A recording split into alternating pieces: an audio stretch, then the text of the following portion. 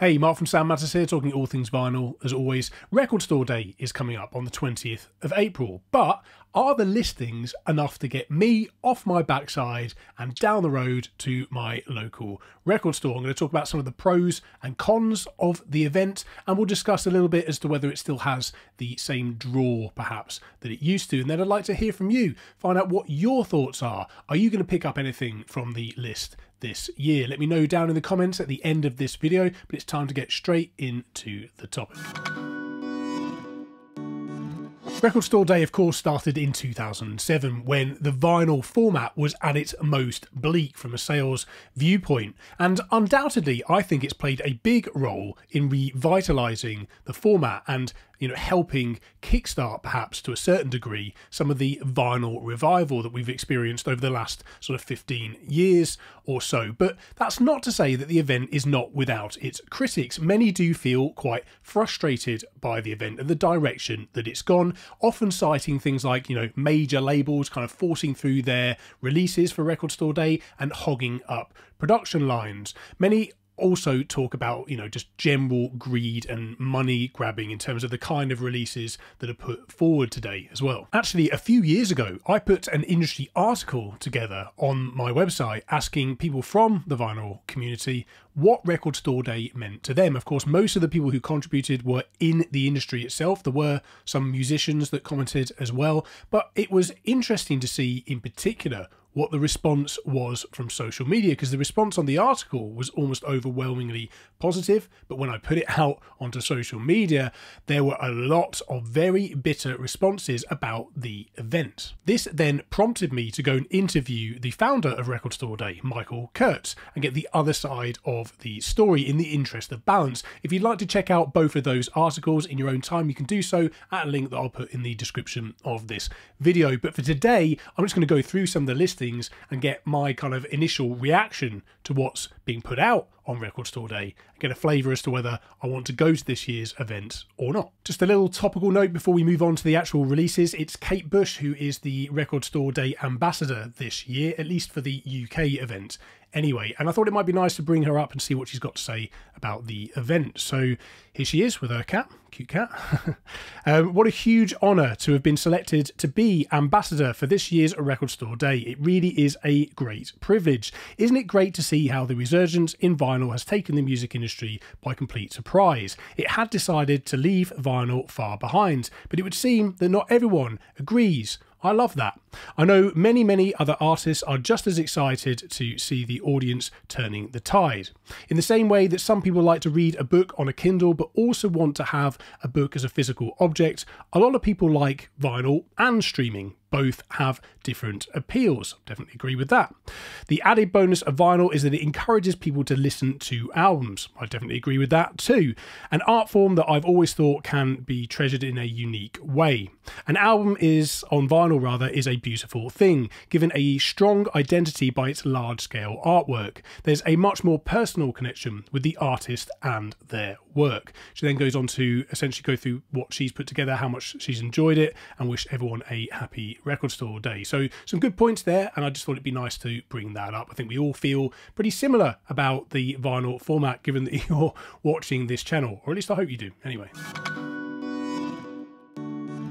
So here's the list, at least the UK one. So apologies to my US viewers. I know most of you watch me from the US or North America as a whole. Let me know what's on your list from the US in the comments. It's just fun to talk about these things. Let me know if the US list looks better. I'd be very interested to hear. So the list is uh, scrollable, but I'm not going to go through absolutely all of them because it's a bit slow to load and some of them aren't loading properly either. I'm guessing there's a flood of traffic coming to the site at the moment because of the event, but I picked out a few that look, you know, at least semi interesting to me. The first one I saw on the list was potentially, maybe Black Sabbath Paranoid. I'm not a huge Black Sabbath follower, but I could do with getting this album in my collection perhaps. So there's a red splatter limited edition version of the album here, and I'm not sure I like Black Sabbath enough to warrant buying a limited edition red splatter vinyl version of it. You know, all debate about coloured vinyl, black vinyl aside. And, you know, if I were to take a look at the price of it, just picked out record store here, record store here. It's obviously going to cost more because it's limited edition. They're asking $28.99 for this, and the same store sells a regular copy of it for $22.99. Of course, I don't know anything in particular about the mastering, and it would be nice actually if they told us a little bit more about maybe who cut the records, maybe a little bit more information here. They don't actually, on the website at least, give us much information about the actual pressing, just the fact that it's on red splatter vinyl. So anyway, that was the first one. Next one I picked up was Parklife by Blur. Now, you know, this being a massive album in the UK, of course, one when I was growing up, and a big favourite of mine back in the day. This is a Zoetrope LP, so it's one of those moving picture records. You know, kind of cool. I'm seeing a big trend towards these at the moment. Of course, there's lots of people releasing Zoetrope records. Bit of a novelty, of course. It's not going to sound that great, probably, because it's a essentially a picture type disc, and of course, sound quality of picture discs. You don't buy picture discs for the you know pristine sound quality. You buy them because it's a beautiful product and you really love the album. But you know that's a maybe on my list. I could be I could be swayed maybe to pick one of these up just for the pure novelty and because I like the packaging side of it. So, you know, eh, maybe. Uh, the next one I pulled out, which I think is a little bit silly actually, is Rumours Picture Disc. I mean, come on, do we really need another release of Rumours? Uh, as a record store day special, least of all a picture disc version of it. I don't know, I'm not sold. I think perhaps we can do a little bit better creatively in terms of that kind of side of things, as much as I do like Rumours as an album. Another Zoetrope disc I saw here is a Zinc Alloy re uh, re-release. Zinc Alloy by Marc Bolan. I don't think it's his strongest album in terms of you know the the T Rex stuff. Um, yeah, I, I, mean, it could be a pretty cool thing to own. I've got an original pressing anyway, uh, but I don't know. I'm not sure it's a, a favourite enough of mine of a record by T Rex to justify me spending the money on this, as cool as it might be. And as I say, there is a bit of a trend towards these Zoetrope discs at the moment, so it's a bit of a trend, a bit of a fad, perhaps even, you know, a bit of a gimmick. Uh, I don't know, I'm not sure I'm willing to part with my money on that one just yet. The last one on my list is a reissue of the first Rolling Stones album, and it's based on the original UK cover, and it comes in a blue vinyl with limited edition numbering on the back and some lithography print images by the photographer Terry O'Neill. You know, maybe, again, these are all maybes. I don't desperately need or want to add these in my collection. It would just be I guess buying them because they're a cool kind of thing. You know, looking at the price of it, it's thirty pounds, which you know is a reasonable sum of money. I've paid more for a new record, though. I've certainly paid more for an original pressing. I think I probably would pay more than this if I was looking for an original pressing in good condition of this album. So I could be swayed into something like this. There's another one on the website here which isn't a limited edition and doesn't appear to be kind of special in any way, but it's based on the US cover of the album. So I guess for the price difference, although it does look like they, look like they put this on sale, given that there's a new version, I, I could be swayed by this. I do much prefer the simplicity, actually, of the original UK cover. So there's a lot of maybes in here for me. Anyway, I think is a is, is what I'm taking away. But now, really, before I hand it over to you, it's time to just kind of summarize my overall feelings about Record Store Day as an event where it is now and its importance one way or the other.